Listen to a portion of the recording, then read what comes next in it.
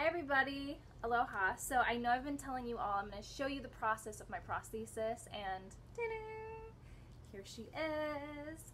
Um, everybody's asking me how does she work, um, show me videos of how it works and um, show you doing different things. So I did get some video when I was in the office of Arm Dynamics where I had my beautiful arm made. Didn't they do a great job? Look at this. Um, so I do have videos that I'll share with you, but I just wanted to explain a little bit of how this works. So the hand that I went with is the bebionic. So you can see that here.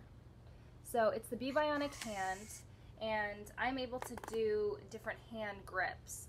So how I'm capable of doing that is there are sensors. There's one on the right side here, and there's one on the left side, in the inside. And so let's say I want to open, let's start with the close. Let's say I want to open my arm.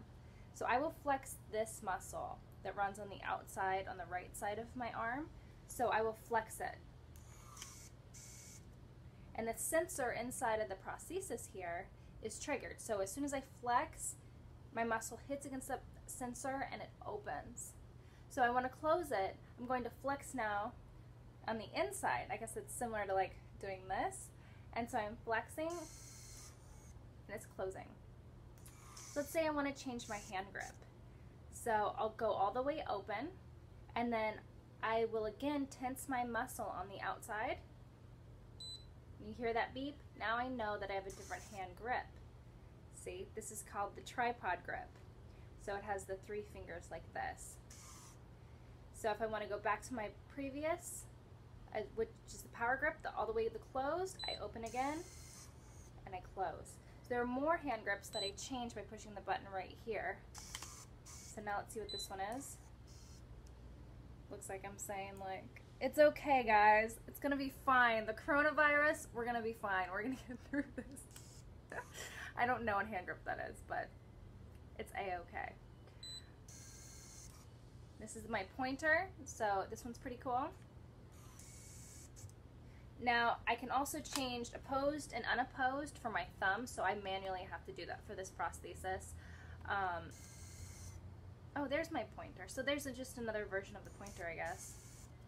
And this one's really weird. This is a mouse click, so I could, in theory, hold a mouse and click it. I played with it. I could actually do it with certain uh, smaller mouse sizes. Um, the bigger ones I can't, and I can also use it to like say I'm working on my keyboard and I click, like I want to click on the enter button or the space bar, I can do that. So that's kind of neat.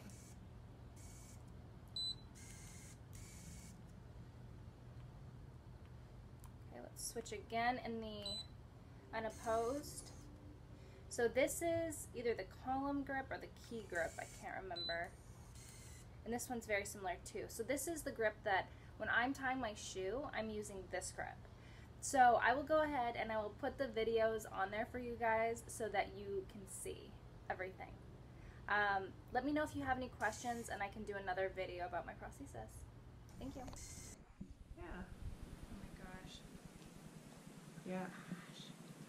That's it. That's it. That's it.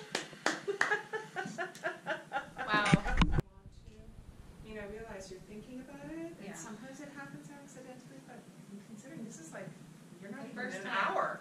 Yeah. You're not even yeah, an hour in this thing yet. You're doing great. Really? Okay. Yeah.